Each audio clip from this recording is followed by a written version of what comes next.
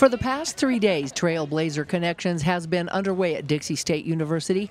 This is where freshmen entering the college receive direction, orientation, and get a chance to connect with one another and just kind of getting to know each other and get to know the campus all by themselves. So right now we have about approximately 2,000 freshmen on campus um, and enrolled in our Trailblazer Connections course. Each student will receive two credits for attending the course, but more than that, they are connecting. Zach and Tyler met through Raging Red, which they both received scholarships for. They really want us to succeed. Uh, we, we also got to meet uh, students that are in the same college as us, and so got to meet, make new friends and, and be able to see what similar interests you have. And yeah, actually, I got scouted for Raging Red, so it was kind of nice. That's kind of the whole reason I'm here. During a pep rally at the Burns Arena, this year's freshmen learned the Dixie theme song. And the Trailblazers song.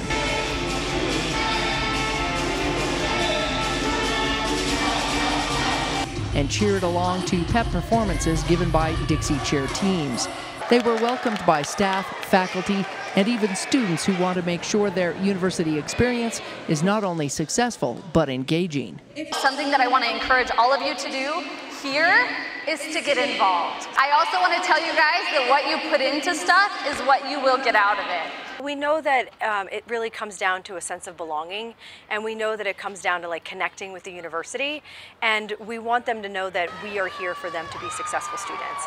And so it's all about student success. It's all about getting them acclimated to the university and be a part of a bigger picture. The freshmen used their cell phones, creating a wave across the stadium, showing that teamwork is possible. Four $500 first year scholarships were also given out to students during the event. From registrars, admissions, financial aid to academic advisors, career services, faculty, and staff, Dixie State wants to make sure these incoming students know they have support you know, we have tutoring on campus that's free, we have counseling that's free, that's all paid for with the students' tuition. And so we know that connecting with the university, we know that a sense of belonging is what keeps students here, keeps them healthy and keeps their wellness up. Students say they are excited about the opportunities that lie ahead. Um, I'm so excited to be a freshman at Dixie State. I love it here. Um, orientation's been really good. I've learned a lot and met a lot of great people. Yeah, I love it. I love meeting new people and just the experience.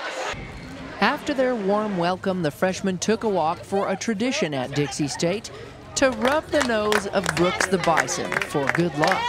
I'm really excited. It was really long, but it, honestly, it got me stoked for the rest of the year. I'm excited. To, I think the staff's really great, and I think it's going to be a great school year.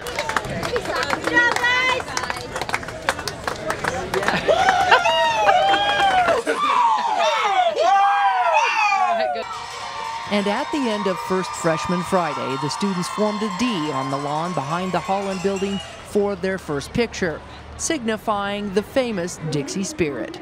From Dixie State University, Melissa Anderson, Community Education News.